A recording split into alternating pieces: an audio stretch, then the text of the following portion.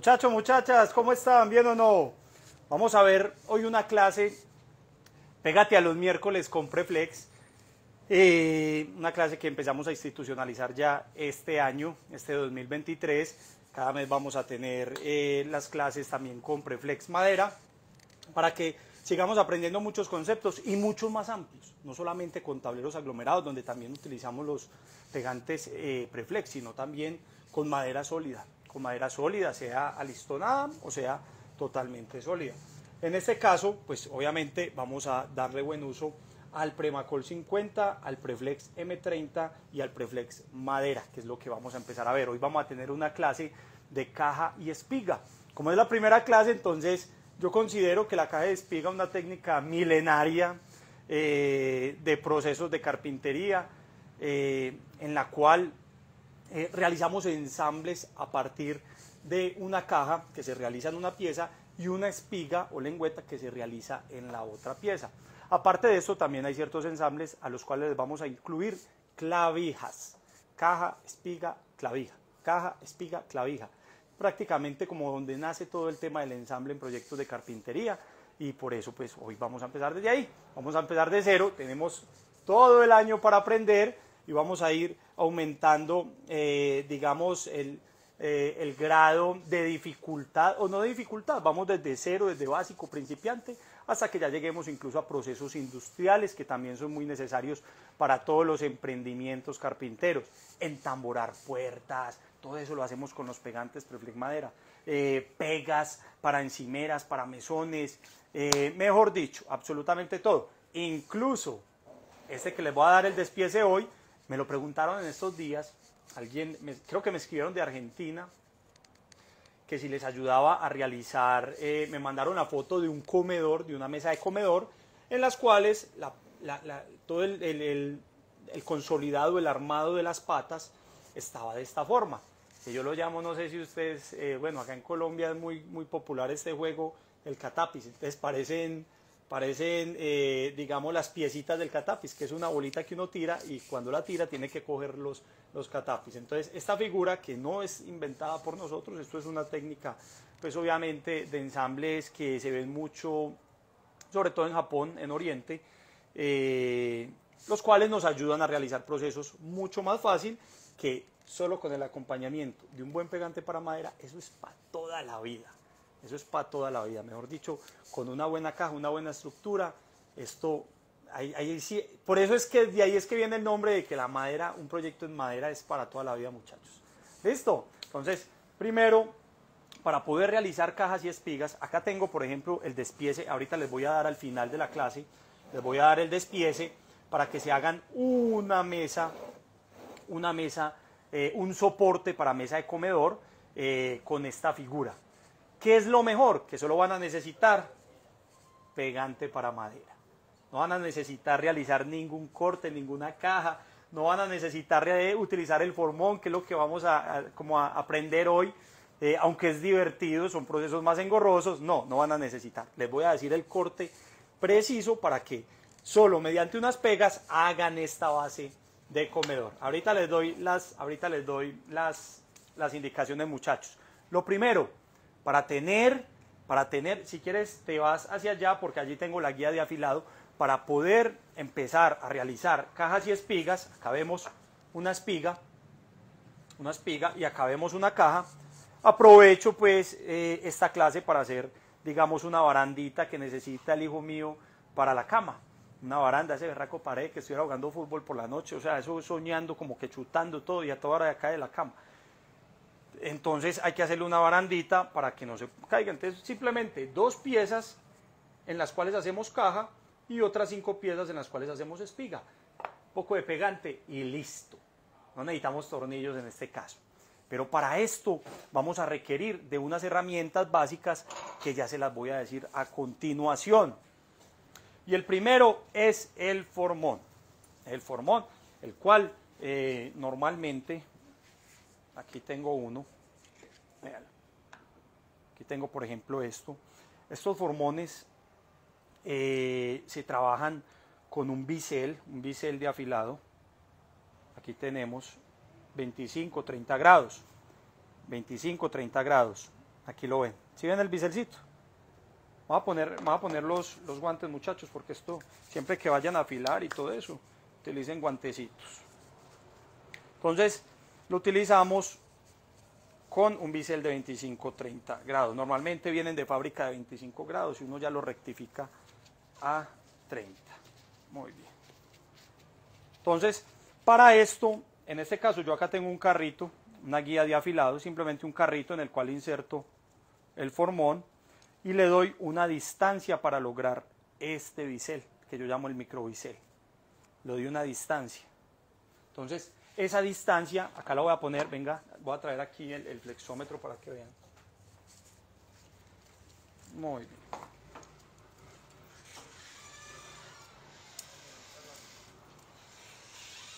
A 3 centímetros. Listo. Si yo necesito darle el otro grado de afilado lo pongo a 4 centímetros.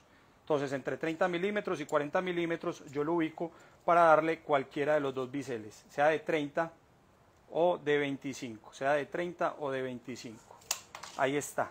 La distancia, pues obviamente de la guía es lo que me da la inclinación, por lo tanto es lo que me da el grado, el ángulo, el ángulo de afilado. Entonces, esto lo pueden hacer con una piedrita de agua, esto es una piedra de agua, pero también lo pueden hacer con una piedra diamantada, como la ven acá.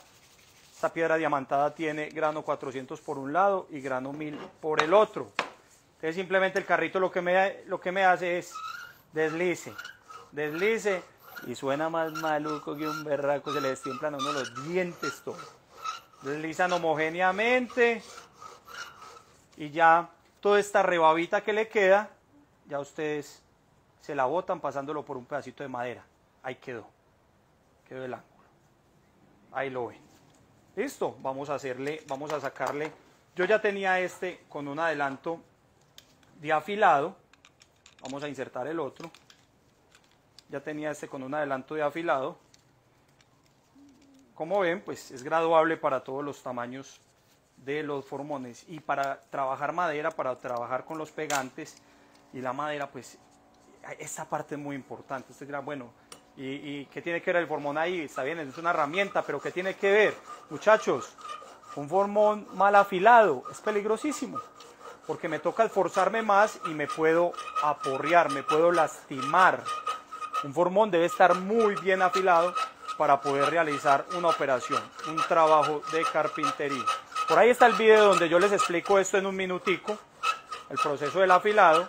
Y también, si quieren el link, vamos a ver cómo va saliendo. Vea, ahí va saliendo, ¿sí? Ahí va saliendo. En este caso estoy sacando un microbisel. Muy bien. Y Silvia sufre con el sonido. Entonces acá le limpiamos la, la rebabita con otra con una piecita de madera y ahí vamos viendo ya cómo queda. ¿Cierto? Eh. Muy bien. Ahora sí, vamos entonces a analizar lo que es una caja y una espiga, que es la primera labor que necesitamos. Y les voy a mostrar otra herramientica que pueden tener. La herramienta manual es muy importante. Sobre todo si tenemos labor de, de, carpintería, digamos, básica eh, o para realizar en casa o en un pequeño taller para divertirnos o también de forma industrial. Pero también es muy necesaria la herramienta eléctrica, la herramienta semi-industrial, puede ser profesional, porque ya hay procesos que son mucho más engorrosos. Es decir, realizar estas cajitas y estas espigas a mano es muy divertido, nos entretenemos, pero en términos industriales, pues no ahí es cuando ya el tema no da eh, como, digamos, esa productividad que necesitamos.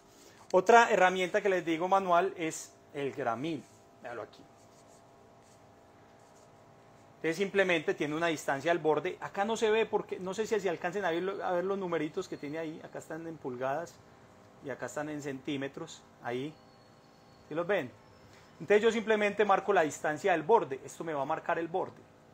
Y esta pieza que tiene en el frente hace corte. Entonces si yo arrimo el gramil, allá lo tengo calculado a un centímetro. Si yo arrimo el gramil y hago esta marcación,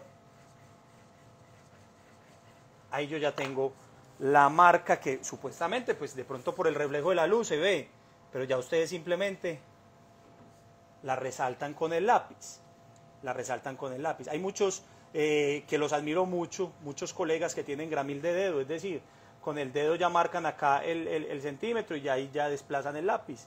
Eh, obviamente si tienen la, tienen la práctica, tienen la técnica, también es válida, también es válida, solo que son ya personas que tienen mucha experiencia en el tema. Y mis respetos a todos los que trabajan en la banistería, día a día, a todos los procesos manuales de carpintería, en madera sólida, porque son, mejor dicho, carpinteros tesísimos. Mis respetos para ellos. Listo. Entonces, basados en eso necesitamos los formones, necesitamos el gramil, necesitamos cortar. Esto es una sierra japonesa. Una sierra japonesa también podemos utilizar, digamos, el serrucho carpintero o occidental, que llamamos. Esta es la sierra japonesa, la sierra oriental. ¿Cuál es la diferencia de estas dos? En estos casos es muy cómoda la sierra japonesa porque en la sierra japonesa el empuje es hacia atrás. ¿Qué va a hacer? El empuje es hacia atrás. El empuje es hacia atrás, o sea, la fuerza es hacia atrás. Entonces, en este en este tema para hacer, por ejemplo, estas, eh, estas espiguitas es muy fácil porque yo, uno prensa y ya simplemente empieza a empujar, empieza a empujar y puede sacar muy fácil esto. El serrucho trabaja al contrario, el serrucho trabaja hacia el frente, hacia el frente, el empuje es hacia el frente. Es la única diferencia, pero realmente si miramos los dientes, ahí los ven, eso. ¿Sí ven? es este, por ejemplo, por este lado tiene los mismos dientecitos prácticamente.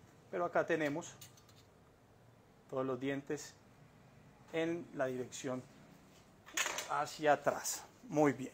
Entonces pueden tener una sierra japonesa. Estoy hablando de herramientas pues muy fáciles de conseguir, manuales, sencillas, sencillas, para realizar este proceso. Obviamente debemos tener una escuadra. Vamos a guardar este serruchito por aquí debemos tener una escuadra también, eh, lápiz, mazo de goma, mazo de goma, un martillito, para poder ingresar, digamos, todas estas cajas y espigas. Recuerde que estamos hoy, listo, un masito de goma para poder ingresar esto. Y así yo puedo hacer cajas y espigas de forma manual.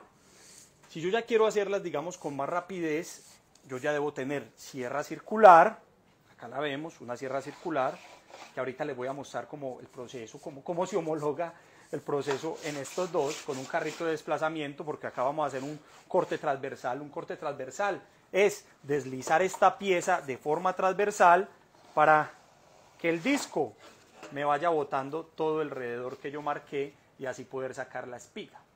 Entonces, esta espiga también la puedo sacar acá o la saco en una sin fin. Aquí tenemos la sin fin.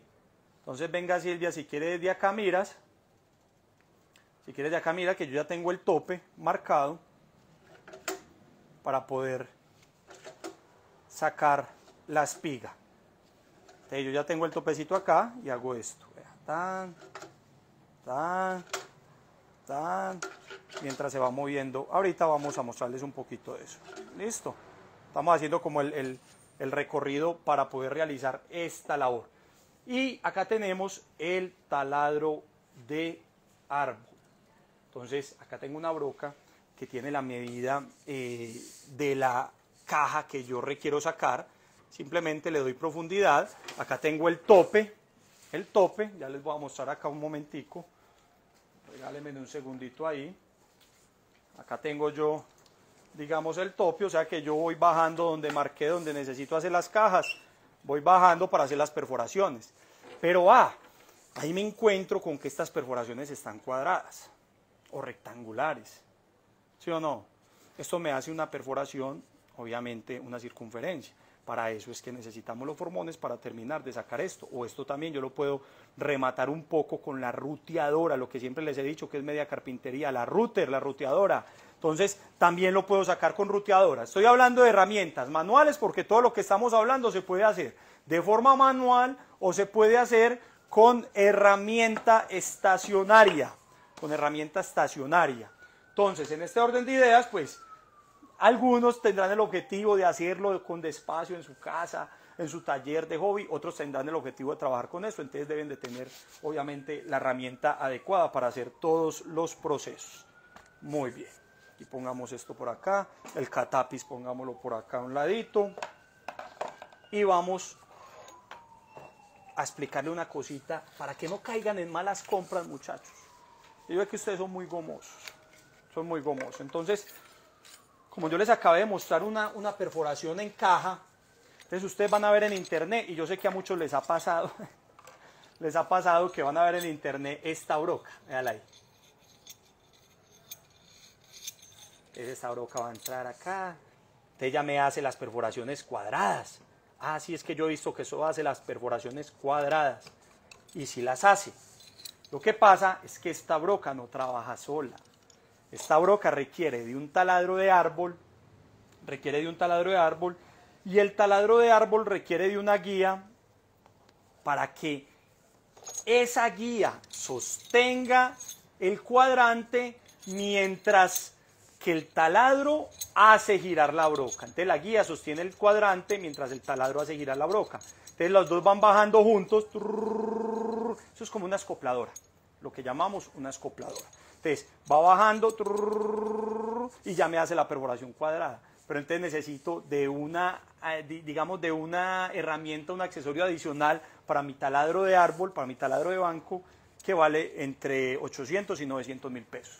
Si yo trabajo con esto, lo podría comprar, para que de pronto no piensen, no, es que yo compro las brocas ya cuadraditas y ya, ya con eso tengo, no muchachos, tengan cuidado que a veces vemos en internet, pero no nos muestran, nos muestran solo haciendo la perforación, pero no nos muestran el accesorio o la herramienta con la que se debe realizar.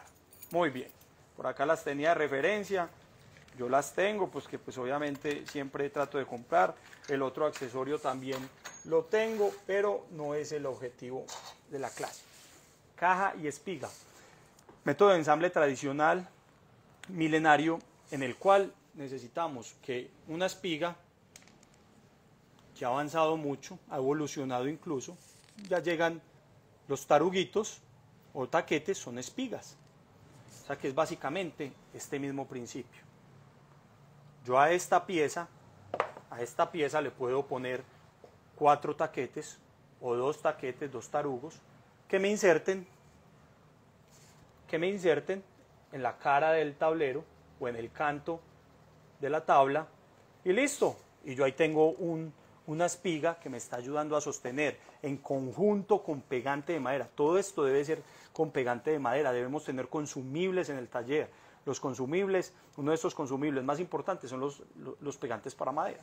Los ensambles en madera son con pegante, muchachos.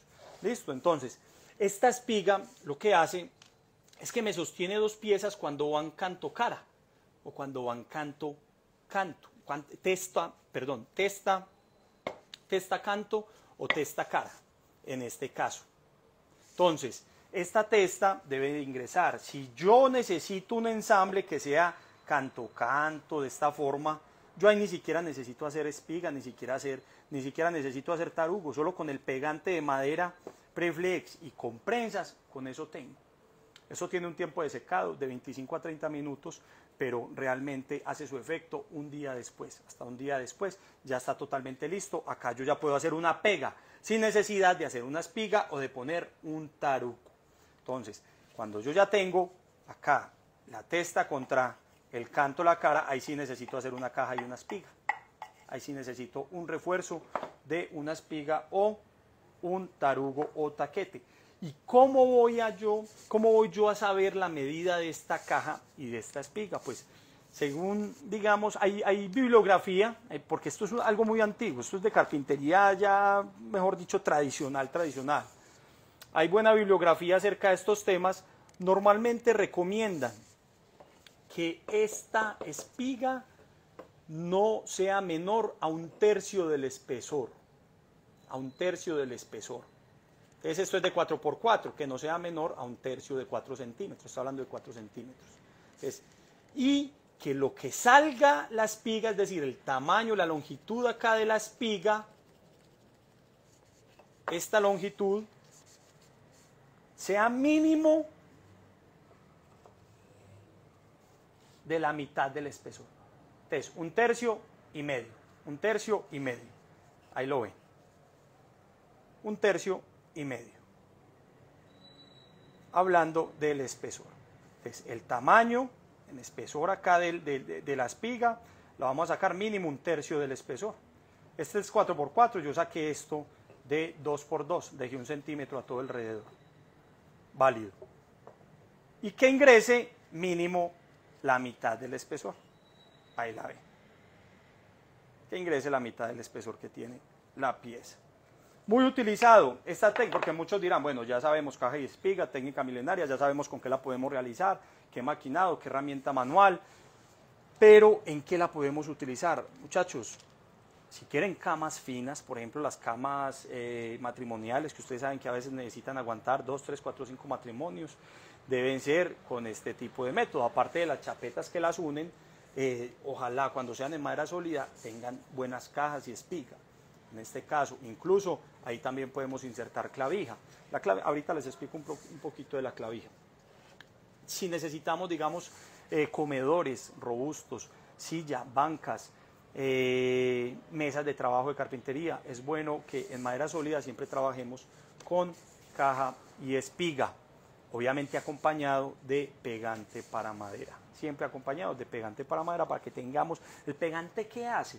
Aparte de que esto ingresó acá, el pegante ingresa las fibras de las dos piezas y lo que hace es un anclaje prácticamente indestructible.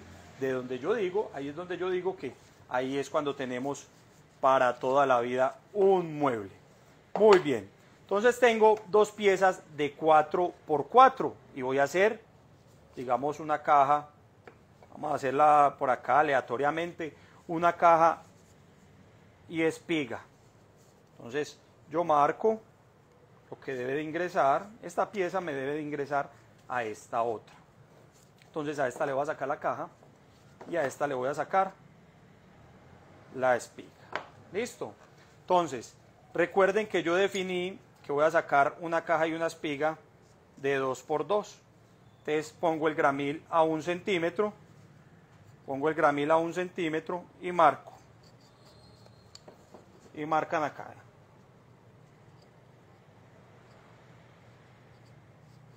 Pueden marcar todos los lados. Y vamos a marcar, es la caja que yo necesito sacar. Eso es algo básico, es algo pues sencillo. Para esto hay muchos métodos industriales, mucho más rápidos. Pero estamos prácticamente desde lo básico acá marcamos. Muy bien. Entonces ahí tenemos que marcamos en esta pieza y aparte marcamos los laterales. Los laterales, todos los laterales. Ahí todavía no los van a ver, ahorita ya tratamos de marcarlos con el lapicito. Hay unos gramiles que traen de una vez lápiz, pues que vienen con el lápiz personas que no les gusta que marcar la madera con lápiz, entonces traen estos que simplemente tallan la pieza. Muy bien. Vamos a pasarlo acá. Todos los accesorios que vean, muestren, normalmente eso lo consiguen en el mercado fácil. Si no, pues, pues nos pueden escribir ahí que ahí les vamos a dar el link de donde los pueden conseguir muchachos, es decir, donde yo los compro. Listo. Muy importante, muchachos, muchachas, conocer las especificaciones técnicas de los productos a tratar. Los pegantes para madera, todos tienen sus características. ¿Por qué hay tres pegantes para madera? Preflex Madera, Premacol 50, el M30, muchachos, porque todos tienen sus especificaciones, sus características técnicas diferentes. Entonces, uno es para maderas húmedas, otro es para maderas secas, uno tiene un tiempo abierto mayor que otro, uno es para ensambles más estructurales que otro, entonces si yo voy a hacer algo muy básico, pues yo no necesito una pega muy estructural. Por ejemplo, las puertas de, las puertas de habitación o de paso eh, normalmente se hacen con un pegante que no sea tan estructural. Finalmente untamos toda la pieza y ahí ya nos queda listo todo el entamborado. Pero por ejemplo, un pegante de un camarote, una pega de un camarote en, en una madera, en una tela,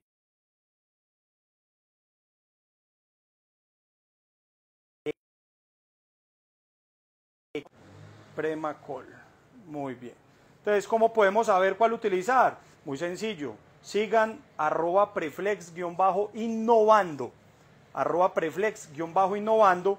Ahí van a pedir, ahí van a pedir el catálogo técnico de los pegantes. Catálogo técnico no. Es básicamente el catálogo de uso. El catálogo de buen uso de los pegantes y ahí les van a, entregar pues la información correctamente para que ustedes puedan realizar digamos eh, todas sus pegas de buena forma. ¿Listo? Muy bien. Te vea que yo ya simplemente marqué ahí con el gramín. Ahí lo vemos. Aquí solo marqué hasta este punto, por eso acá ya no me dejó marcar. Pero ahí yo ya sé lo que voy a sacar. Entonces, ¿ahí qué voy a sacar? Todas estas piezas, todo esto que voy a sombrear. Para hacer Eso. Muy bien. Para hacer mi espiga. Aquí también voy a hacer la misma marcación lateral.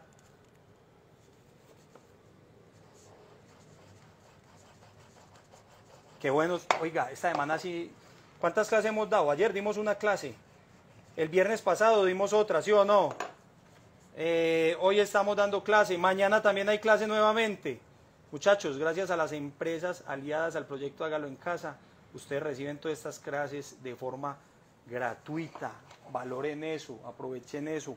Eh, por ejemplo, Preflex está haciendo un esfuerzo muy grande eh, apoyando estos espacios, patrocinando estos espacios para que ustedes puedan recibir el conocimiento cada mes. ¿Cuántas tenemos con Preflex? ¿Cuántas clases al mes vamos a hacer? Dos clases. Cada mes dos veces vamos a tener clase con pegantes para madera preflex. Muy bien. Aquí tengo, vamos a rectificar, eso. Es que como yo marqué sobre la pieza, yo puse la pieza ahí, pues el lápiz obviamente nos engaña con la medida. Entonces es mejor rectificarlo bien con el flexómetro. Muy bien. Y con la escuadrita. Por eso le di, hay que tener escuadra. Hay que tener escuadra. Muy bien.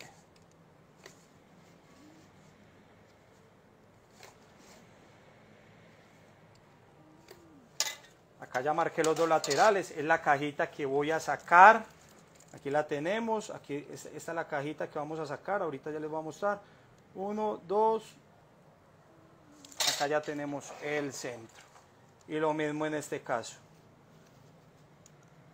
Ya uno cuando trabaja, digamos esto en serie, ya estandariza procesos, ya hace guías, ya hace plantillas y ya se acostumbra a trabajar en serie, en serie. Como acá yo necesito marcar dos centímetros que ingresen, entonces yo muevo el gramil. Yo muevo el gramil y lo pongo a dos centímetros. Vamos a ver aquí, este gramilcito, uno, dos, aquí.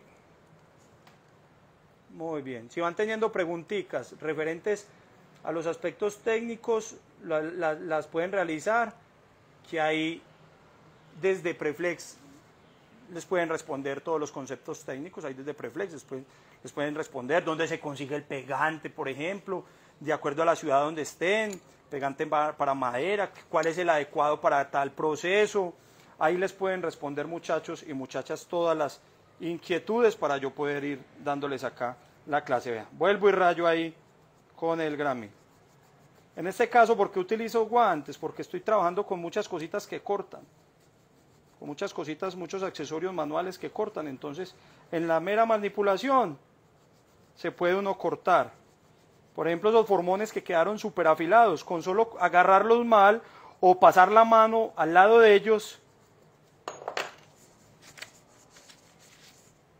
así no sea pues algo significativo. Esto fue ahorita pues ahí practicando, pues acá trabajando.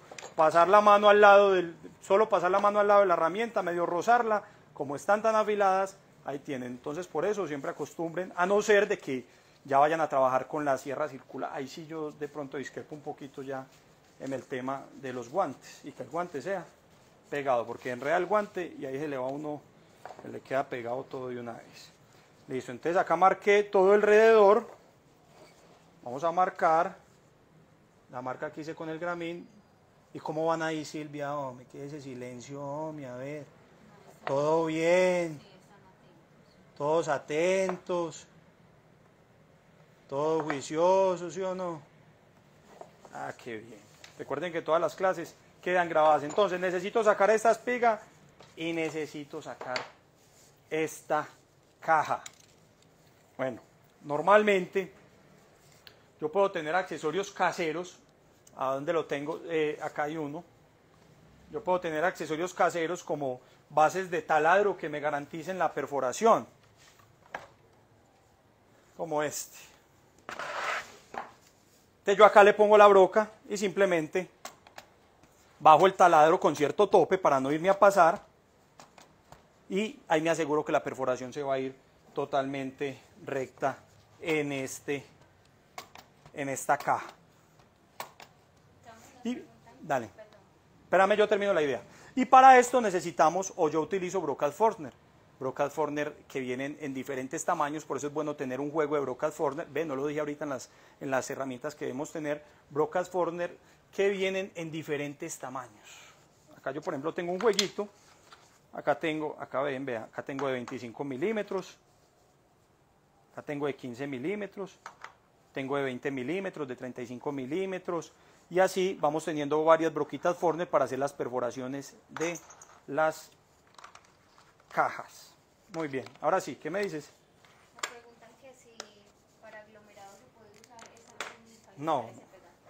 El pegante sí se utiliza para aglomerado, pero en el aglomerado pues hacemos ensambles a 45 grados. Yo creo que eh, es otra, otra de las clases, va a ser ese tipo de ensamble.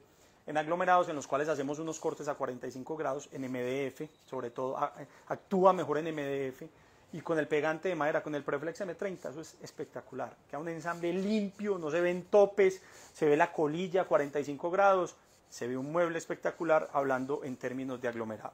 Listo. Pero ya cajas y espigas, obviamente, obviamente no. Entonces acá vamos a realizar la cajita.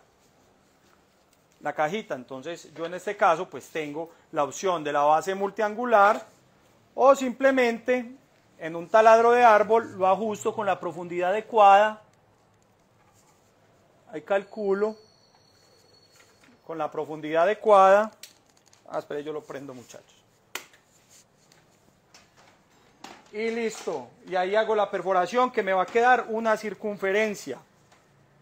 Al quedarme una circunferencia, entonces ahí es donde ya me toca utilizar el formoncito.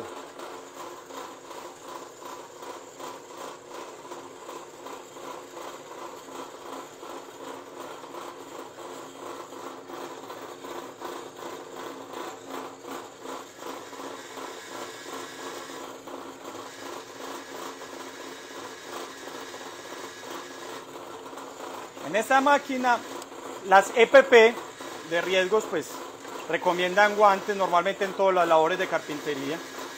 Pero en este tipo de máquinas a veces es mejor no tenerlos porque se nos puede enredar o algo. Pero de todas maneras, si uno trabaja con precaución, pues y con concentración, sobre todo precaución y concentración, no tienen por qué pasar accidentes.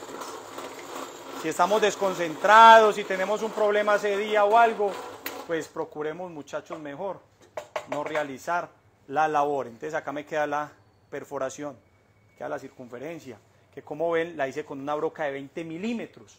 ¿Por qué? Porque estoy haciendo una caja de 20 milímetros, de 20 por 20 milímetros, 2 por 2 centímetros. Aquí trato de verificar, es bueno en carpintería también que cuenten con un pie de rey.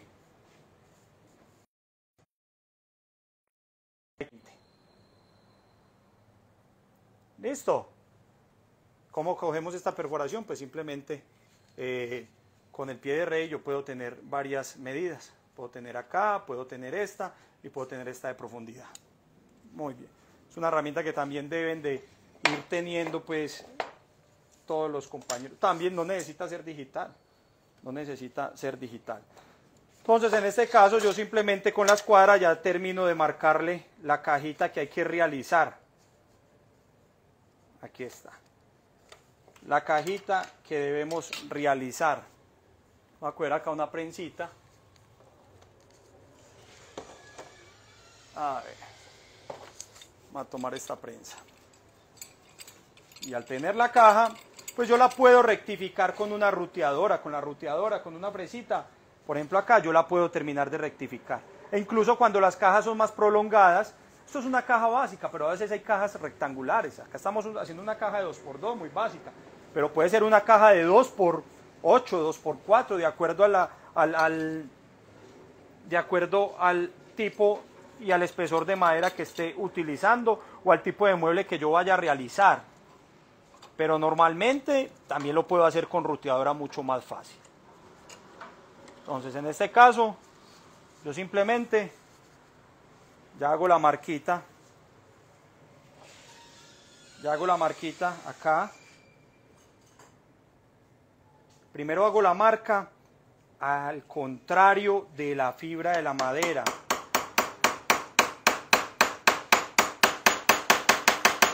Vea, acá, al contrario de la fibra de la madera, porque si yo hago primero la marca, si yo empiezo a iniciar con el formón en el sentido de la fibra de la madera, ¿qué va a pasar acá?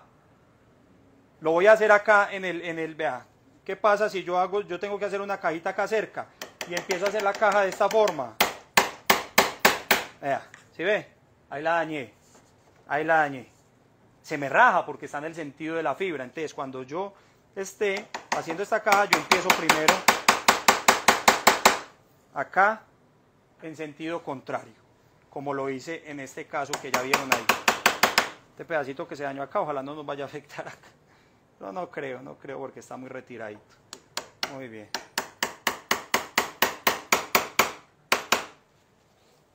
Acá también debí realizarla así atravesada. Primero, por eso no la por eso no la continúe ahí.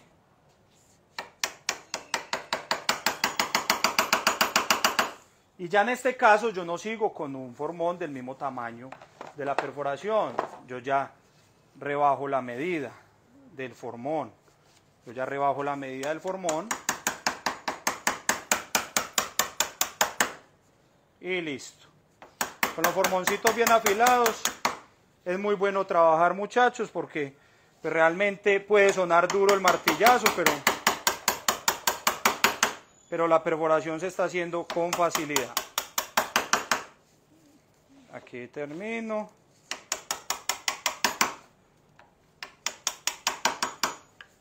Muy bien. Así pueden hacer, digamos, caseramente una cajita y una espiga. No es tan complicado, no es tan demorado.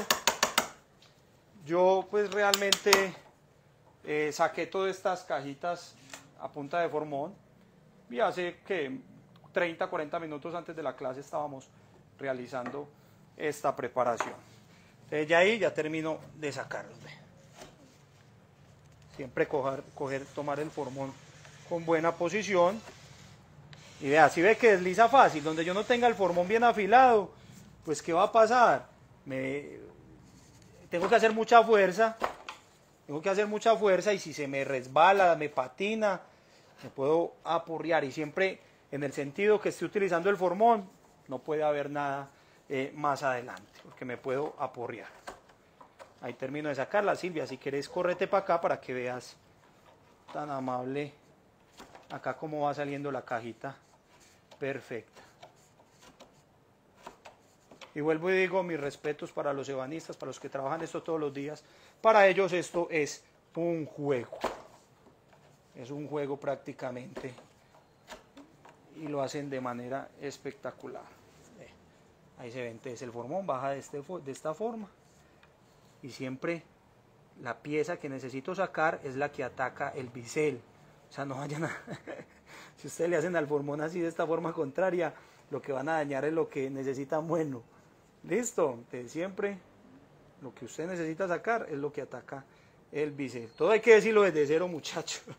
Ustedes ya saben que todo hay que decirlo desde cero porque tenemos audiencia que es principiante, tenemos audiencia que son que incluso yo les aprendo, que son ya profesionales y que nos ayudan, nos dan sugerencias, Camilo, es mejor así, es mejor así, y, y así va tomando uno el dato. Siempre pues basado en eh, aspectos técnicos y en la bibliografía existente que haya de los temas. De ahí también la invitación a que investiguen la bibliografía de cada tema, muchachos. Que no sea como me dijeron, como vi, sino que también estudiemos un poquito todos estos temas. Muy bien. Entonces ahí yo ya tengo una cajita. Ahí la ven. Sencilla. Ahí la ven. Muy bien. Ahí se me perdió la otra que le iba a hacer las... Ah, me las llevé las dos para allá. Voy a desconectar aquí este que estábamos aspirando ahorita. Uy, esta puede ser la mejor compra. Vea, aparte del pegante para madera Preflex en los consumibles, un aspirador hermano Borguea.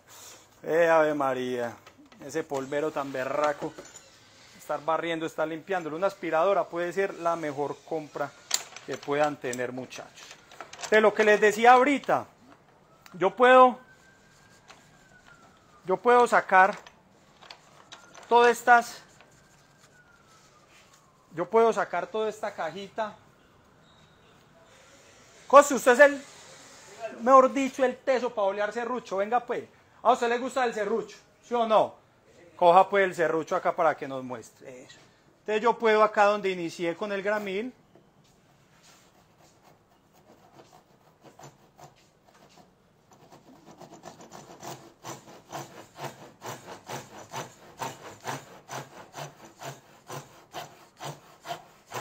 de bueno ese japonés. Es caseramente. Yo también puedo, ¿no? Vea. Y ahí me voy derechito.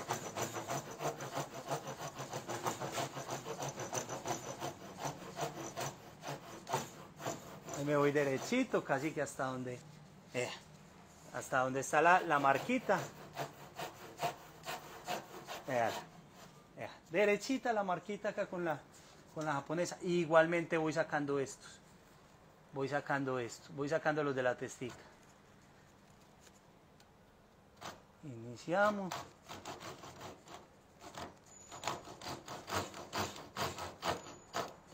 Téngame ahí la prensita que, se me mueve coste. Apriétemela ahí más.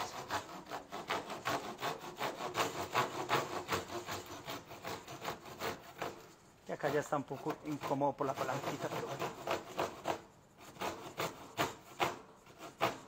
que el movimiento, la fuerza yo la hago es para atrás.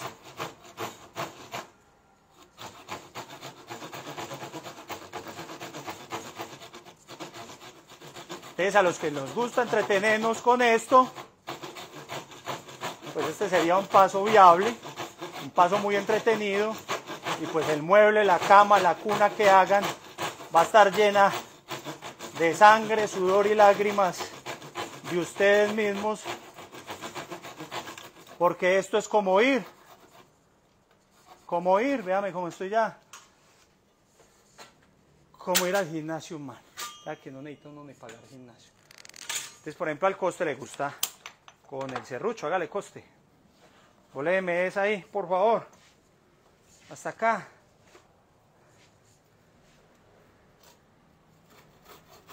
Que el coste ya con el serrucho empujas para adelante. Ahí. exacto. Y sáqueme ahora la de acá, por favor. Eso. Pueden ubicar pues la piecita ya de otra, de otra forma para que les quede más fácil. Eso, siempre la inician. Siempre la inician para que se puedan ir por el lado correcto.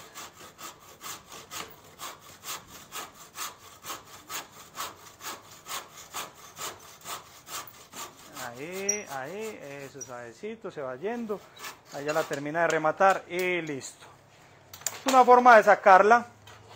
La caja, guárdeme las dos costes, por favor, para que no nos, para que no nos aporriemos por ahí. Listo. Si ustedes tienen, por ejemplo, este tipo de herramienta,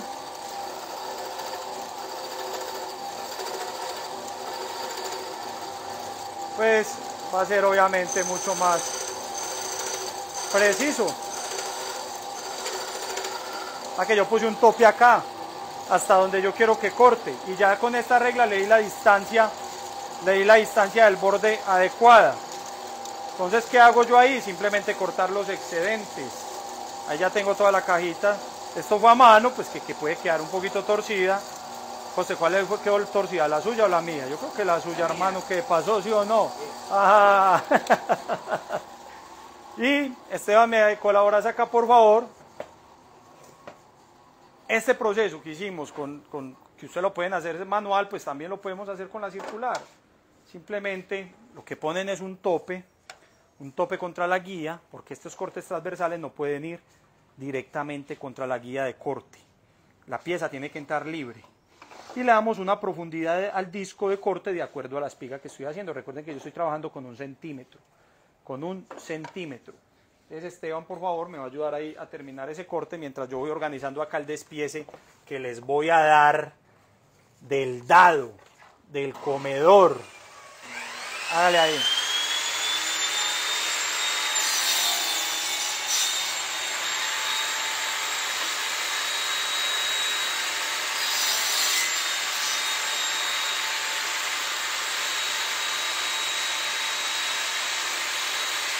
Allá por todas pasó porque las otras las habíamos sacado de forma manual.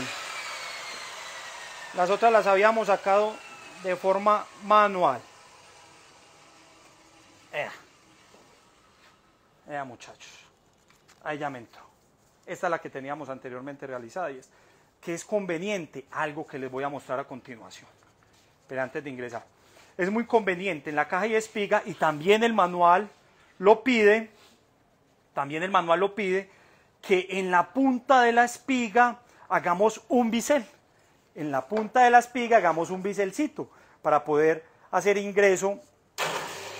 Entonces, acá, en la punta de la espiga,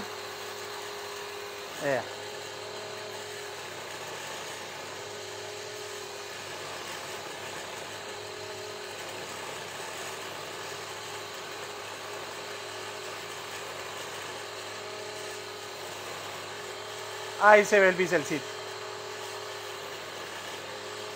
Ahí se alcanza a ver. ¿Sí lo ven? Para que quede de esta forma. Eso en la punta de la espiga para, pues, para que al ingresarlo sea mucho más fácil. Al ingresarlo sea mucho más sencillo, sea mucho más fácil. Entonces acá es donde yo les digo a ustedes, un vasito de goma y así ensayan muy bien, pero sin antes, sin antes aplicar, puede ser Premacol 50, M30, Preflex madera, y que todo esto nos chorree prácticamente, nos chorree pegante. Ahí. Muy bien.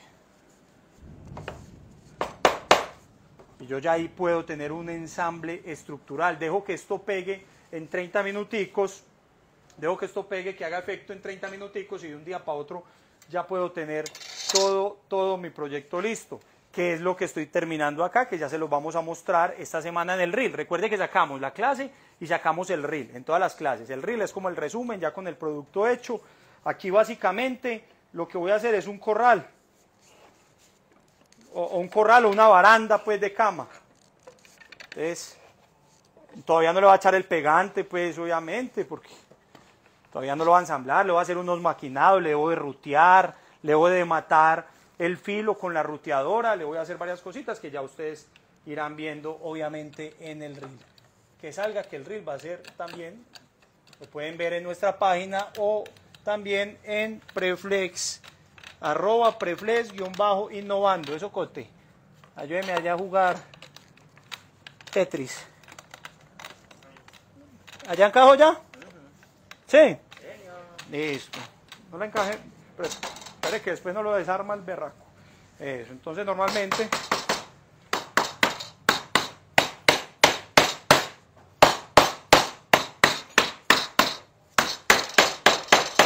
Eso es lo que llamamos ensamble con caja y espiga. Y la clavija es, si yo requiero adicionalmente reforzar, hago una perforación que me coja la pieza A con la pieza B, con la, con la pieza con la espiga y atravieso un taquete de lado a lado. Un taquete de lado a lado ya corto, lijo y ya me quedan todas las clavijas ahí. Pero yo pienso que con el pegante para madera ya tiene, ya tiene. O sea, con esta caja y espiga y el pegante para madera ya es más que suficiente, muchachos. Papel y lápiz, porque les voy a dar este despiece para la base del comedor que pueden ensamblar solo, solamente con pegante para madera. Hágase allá, Silvia, para que tome el dato. Eso. Son tres unidades de 95 centímetros cada unidad. Pero ya les voy a decir el truco. Oh, pues. Cada bloque o cada unidad, vea que estoy hablando de unidad por bloque. Este mide 95, este mide 95, este mide 95. ¿Por qué? Porque al quedar tipo dado, pues van a perder altura para que nos queden a 78 centímetros de altura, que es la altura de una mesa de comedor. Entonces, la primera unidad, para que no tengan que sacar la caja, hacer el corte, así como hice yo en, esta, en este ensayo, que va que me tocó sacarle la cajita a todo. Me tocó sacarle las cajas. Muy sencillo, van a comprar listones de 4x4 y van a hacer unos listones de 8x8. Vea que estos son palitos de 4x4. Simplemente con el, con el apoyo que tenemos del pegante para madera, yo voy a hacer la pega de todos, de todos cuatro. Pego estos cuatro acá, pego estos cuatro y lo mismo hago con todos. Los pego, les echo pegante para madera en todas, en todas las caras, en todas las caras y ya los dejo de un día para otro prensados. Pero los prenso con estos cortes ya realizados. Entonces, para la primera pieza vamos a necesitar una unidad de 95 centímetros. Una unidad de 95 centímetros y vamos a necesitar 1, 2, 3, 4, 5, 6 unidades de 43.5. 43.5. Ahí la ven. Listo. Le van a dejar acá un espacio de forma que nos quede acá un espacio de el espesor del bloque que va a ser de 8 centímetros. Ahí está. De 8. Esta pieza viene siendo esta. La segunda pieza tiene una unidad de 95 y las otras 6 de los mismos 46 y medio. Pero en esta sección, vea, en esta sección de la unidad que está completa, hay que con el formón, con el formón, con el formón, hay que comerle, hay que cajearlo ¿Para qué? Porque esa pieza debe terminar en circunferencia. Vean ahí. Esa pieza debe terminar en circunferencia, pero es la misma que la primera. Y la última pieza tiene dos cajas perpendiculares, vea, dos cajas perpendiculares. Para esta vamos a necesitar una pieza de 95 centímetros, vamos a necesitar cuatro piezas de 43.5 centímetros y dos piezas de 47.5 centímetros. 47.5 para hacer esta figura que ven acá. Cuando ya tengan toda esta figura, cuando ya tengan toda esta figura hecha, ahí la ven, muy sencillo, entonces van a tomar esta pieza y le van a, encastrar, siempre aplicando el pegante para madera en todas estas, en todas estas cajas. vamos a encastrar de esta forma y esta la ingresamos de último. La que tiene la circunferencia, la que tiene el bolillo, el bolillito, la vamos a girar, ya con el pegante aplicado todo, la vamos a girar, ahí, y ahí está el amarre y ahí ponen la mesita arriba y listo, ya le hacen, le pueden sacar ángulo abajo, no es necesario, tiene un buen apoyo, tiene un son, son piezas de 8x8 que van a quedar y con esa pega, eso no, por eso no lo despega nadie, apenas ya le apliquen a todas estas piezas el pegante para madera, ya no lo suelta absolutamente nadie, pueden poner ahí la mesa que quieran, en, en Decton, en Quartzon, en madera sólida, en vidrio y eso no lo desbarata nadie. Y vea qué unión tan limpia en este ensamble. ¿Listo? Muchachos, Pégate a los miércoles con Preflex. Muchas gracias por conectarse y nos vemos. Sigan arroba preflex-innovando para que les den la lista del despiece. Escriben en la cuenta arroba preflex-innovando, no a mi cuenta, arroba eh, preflex-innovando. Lo siguen y